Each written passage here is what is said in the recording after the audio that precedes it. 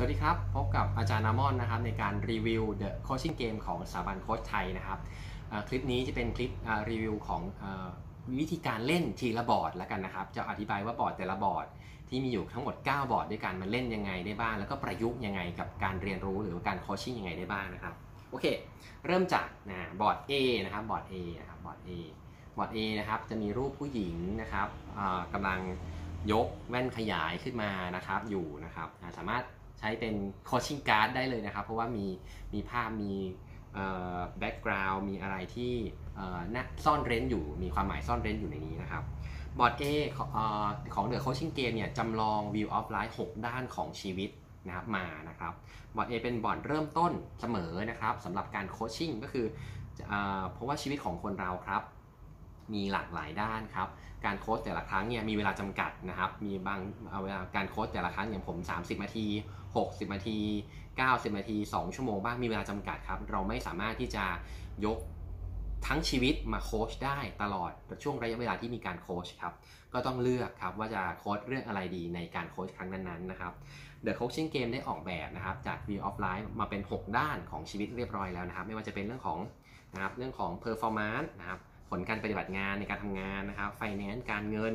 wellness สุขภาพนะครับ personal development การพัฒนาส่วนบุคคล relationship ความสัมพันธ์ แล้วก็ inspiration การเเรื่องของแรงบันดาลใจณตอนนี้นั่นเองนะครับ โอเค บอร์ดนี้บอร์ดนี้นะครับ 6 ด้านนี้เอาเ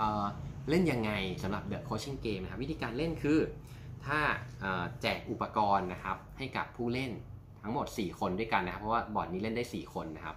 ก็คือแจกอุปกรณ์ไปเสร็จแล้วนะครับ ให้ผู้เล่นนะครับเลือกนะครับประเด็นที่จะทำการโค้ชครั้งนี้นะครับ ไม่ว่าจะเป็นเลือกเองหรือว่าเลือกผ่านตัว View of Life Platform นะครับในใน e-manual แล้วกันนะครับ วิธีการก็คือให้ใช้ตัวคิ้วตัวคิ้วนะครับแล้วเรียกตัวเบี้ยแล้วกันนะครับ ซึ่งจะมีอยู่คนละสีคนละตัวด้วยกันนะครับ ตัวเบี้ยเนี้ยนะครับ มีสีตาม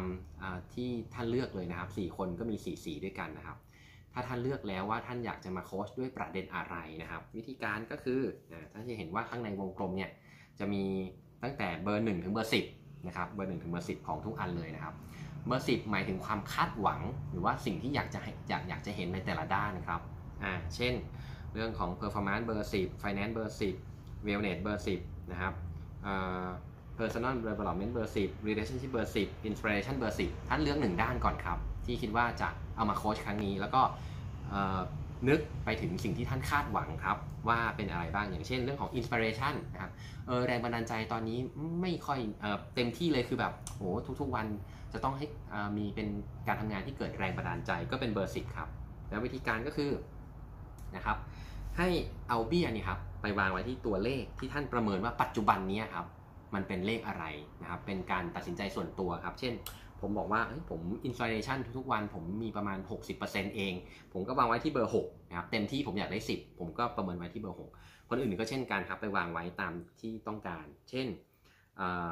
สีม่วงบอกว่า personal development เป็นเบอร์7อ่าเต็ม 10 ก็ว่าไปครับ ทุกคนก็ประเมินตัวเองครับ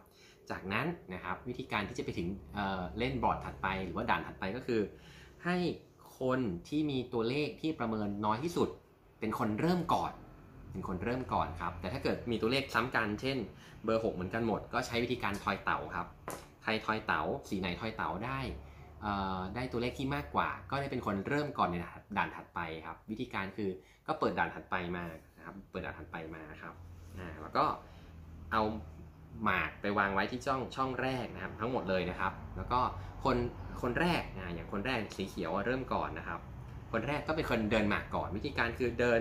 เดินตามเข็มนาฬิกาครับ วิธีการเดินวิธีการเปลี่ยน คนเดินก็เปลี่ยนตามเข็มนาฬิกาเช่นกันครับ ก็ทอยเต่าแล้วก็เดินหมากถัดไป อันนี้สำหรับบอร์ด